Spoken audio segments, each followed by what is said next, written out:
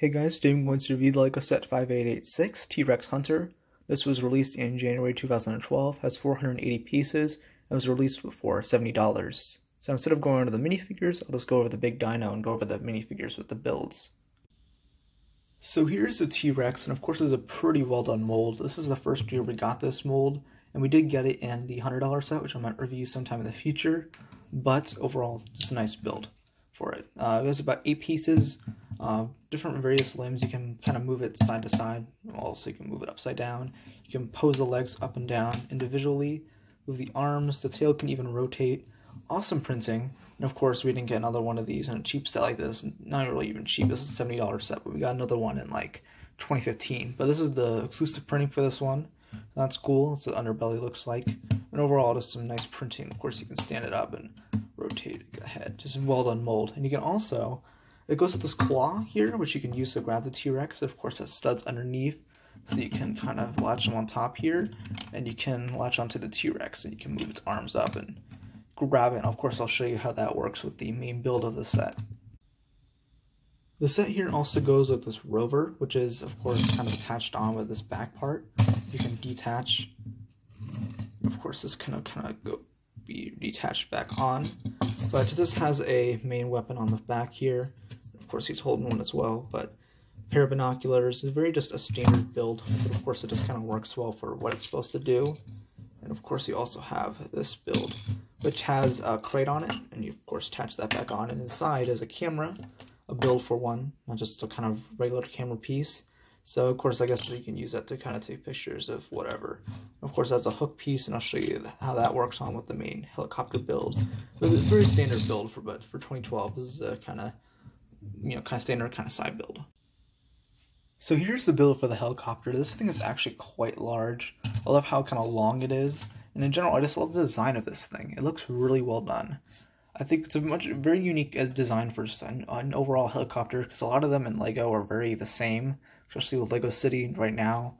But this is the unique build along with the yellow, which I usually don't like in Lego for like builds, not for minifigures. I like them for minifigures, but for builds. But it look, works well here with all the other colors, including the uh, dark red, which works really well. So first for the cockpit, there's a wheel under here, which of course sticks out, but I think that works well because it kind of levels it out. Some nice printing overall. I'm not printing, but kind of like stickers. And of course, you can move this whole canopy up. You can fit a minifigure here, but I'm sure you can maybe you can squeeze another two in there.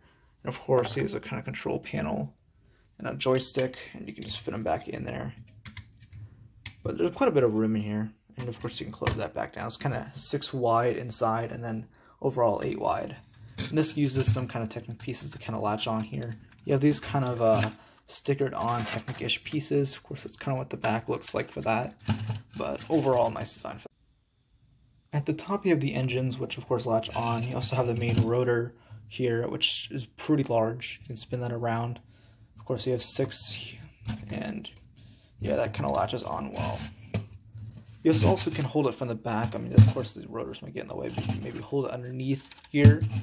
And this is kind of how it looks. You have the two back wheels, which of course, you know, can you can roll this thing around. You can actually kind of move this like a car or something. And these are pretty sizable kind of builds. Of course, have the back rotor and the sticker. And underneath, this is what it kind of looks like. And of course, I'll show you that chain works. But overall, kind of nice design for that. You can kind of these are kind of angled at a side here and kind of do that. Now, of course, this chain isn't able to move up or anything. There's no kind of crank on it, but of course you can still kind of move stuff on it.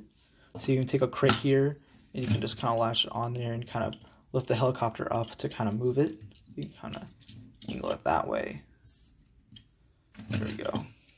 You kind of lift it up. So that's how that works, but of course, that's the only thing you can lift up in this set, because as I showed you before, you have the T-Rex, and you can, of course, kind of hatch onto that.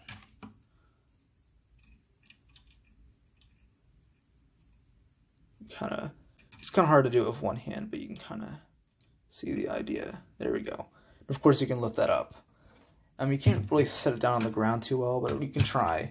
And of course, this still looks well done. You can still fit the T-Rex underneath it. It's just you can't really latch onto it. It still is kind of hooked on there, though, which works well.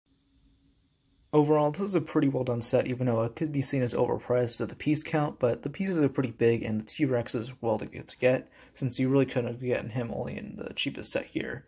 So thank you guys for watching this review, and bye guys.